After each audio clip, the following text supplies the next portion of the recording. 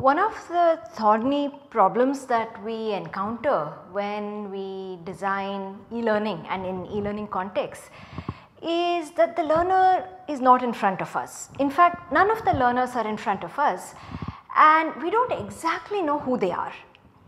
This problem of course gets enhanced a lot because of the context that it is not a face to face situation and it also th this challenge is uh, it, it looms when we have diverse learners. Now if the e-learning context suppose it is a part of a blended course where you frequently meet uh, your learners maybe this problem is not so daunting for example, if you are designing e-learning for your 7th standard students where you meet them every day and the e-learning is supplementary, it may not be such a big problem. But if you are teaching an online course for example or if you have adult learners from a variety of fields that you do not that you are not very familiar with, then this problem becomes, this challenge becomes uh, difficult to address. So, in this learning dialogue, let us look at the issue of addressing diversity in our learners in an e-learning context. Before we move ahead, let us pause at a reflection spot. Think of a face to face class that you have participated in either as a student or as a teacher and think of the various types of students that you have interacted with in that class. What are the different characteristics of the learners in that class? In what ways were they different? Can you categorize them in any way? And especially if you were a teacher, how did you address these differences and how did most importantly how did you ensure that they all learned. So, think of a more familiar face to face context and uh, please write down some of the points to these questions. When you are done you can resume. You may have thought of diversity along various dimensions. Some of them are apparent like age, gender, uh, maybe the culture from which students come from that may not be so apparent but perhaps you know about it. Uh, maybe their uh, socio-economic background again these have certain implications. Now the other thing as a teacher or as a fellow student you may have paid attention to is the varied background uh, varied backgrounds of the various learners in the face to face class, the various interests because of which students may be present in the class. Uh, teachers would definitely have paid attention to, uh, to the idea to the fact that some learners need support in the prerequisites whereas others are more advanced or fast and they want to move ahead.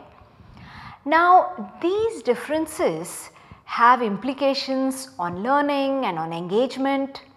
They make because of these differences students may learn differently.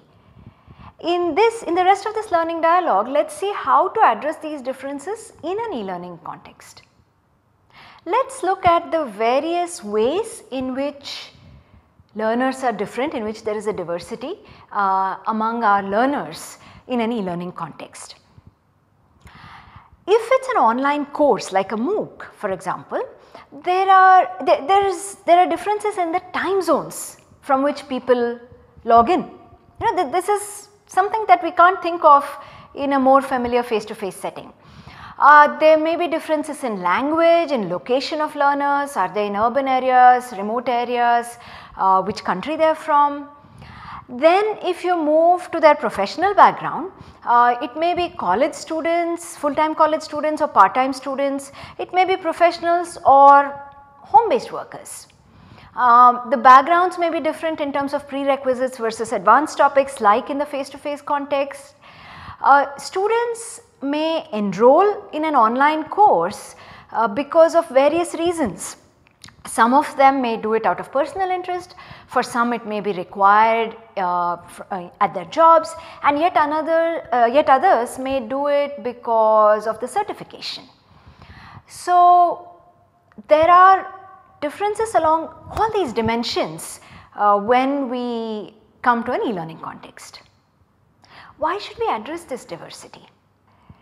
We know that different learners have differentiated needs and this problem gets amplified in an e-learning context also because of the transactional distance.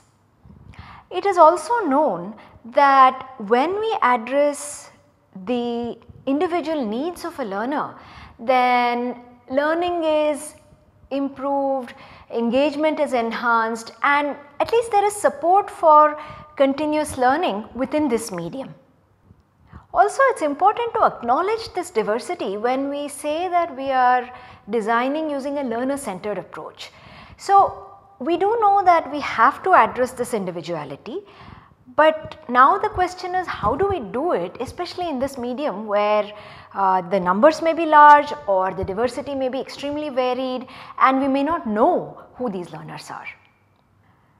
When we come to the issue of how to address this diversity, the first thing we need to do as instructional designers of e-learning is to try to figure out who our learners are and then see which ones we really want to address first and next, we can prioritize. It is great if we want to address all our learners, but it is fine if we say that our priority are these learners. But before we are able to do any of those, we need to know who they are. So often in e-learning courses and online learning, uh, there is an entry survey. You would have uh, encountered it even in this course. Uh, it may be about demographics, it may be about background, personal interests, why do you enroll in this course. So that helps the instructional team learn uh, the cohorts, the groups of learners present within their e-learning context. One of the recommendations that you may have heard often uh, to address diversity is to provide a variety of resources. Now what do we mean by variety?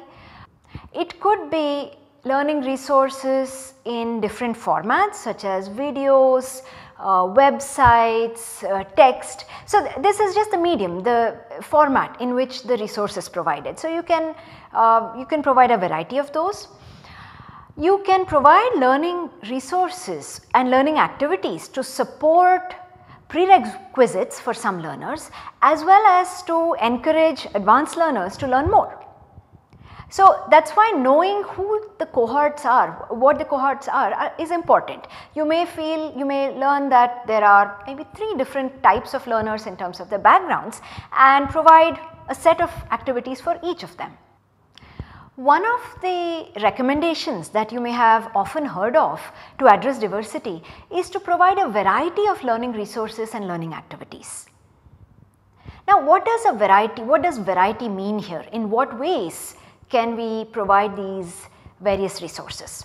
So if we think of the dimensions, one of the things we can do is to provide resources in different formats or different media like videos, websites, text, pictures. It could be similar content or related content, but we can vary the medium uh, and include uh, activities and resources in uh, different media within the same course.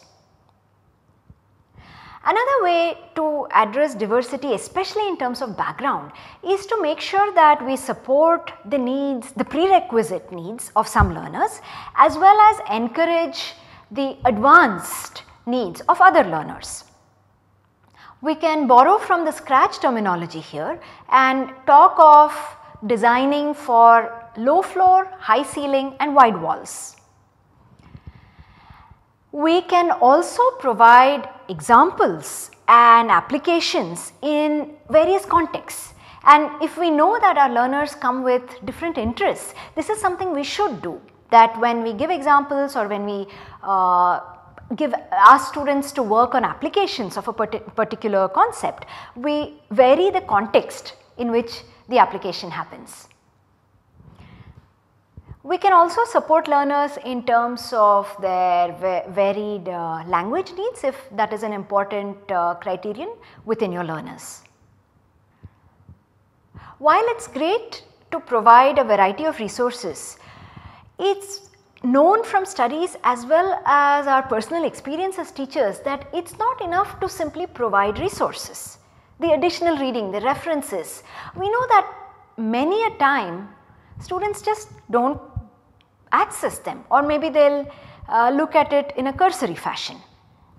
So we have to find a way to ensure that learners actually access this variety of resources and gain from it. Uh, one solution here is that of learning extension trajectories which you would have experienced in this course itself. So, the way we design learning extension trajectories is to provide resources for different needs of learners with where it is deliberately designed and then we allow learners to access the resource of their choice or do the activity of their choice and we close the learning loop by giving a short activity in this case we call it an assimilation quiz to ensure that they have actually uh, read the text or watched the video and assimilated the learning from it. Another technique that people use is uh, multiple representations in STEM disciplines where the same concept is presented in different formats such as graphs, equations, text, uh, diagrams and here in fact this is not only for diversity, uh, multiple representations and having learners translate back and forth, interpret various representations is also known to be effective for uh, deeper conceptual understanding. If you are designing learning materials for an online course, you know where it is on a platform like this NPTEL course. Uh, one important recommendation is to go blended at least to some extent. So, this means that do not limit yourself only to the online medium, have some ways at least a few where there may be a synchronous interaction either face to face if you can if, if that uh, situation is possible or via video conferencing. Uh, in this course we are using Google Hangouts, you can do Facebook Live. So, inserting a few of these synchronous interactions where there is at least some face to face contact, it could be via a, a VC medium that is again known to uh, be beneficial to address diversity as well as the transaction distance. And this improves what is known as learner connect. However different each learner is, he or she feels that yes I am part of the course. As we design e-learning using a learner centric approach, some of the recommendations that we have to keep in mind uh, are one that we should become aware that there may be a diverse range of learners uh, who, are, who will be accessing, who will be experiencing the content that we have created. Then we have to try to identify this diversity and entry surveys were one way of doing so. If you want at this point we can prioritize the learners who we will primarily address. Then we include a variety of learning activities and resources addressing the needs of each identified cohort. We can represent the content in different ways using different formats, different media and all this is important to enhance learner connect. So, we include some at least some or many if possible face to face sessions using uh, various options available. Thank you.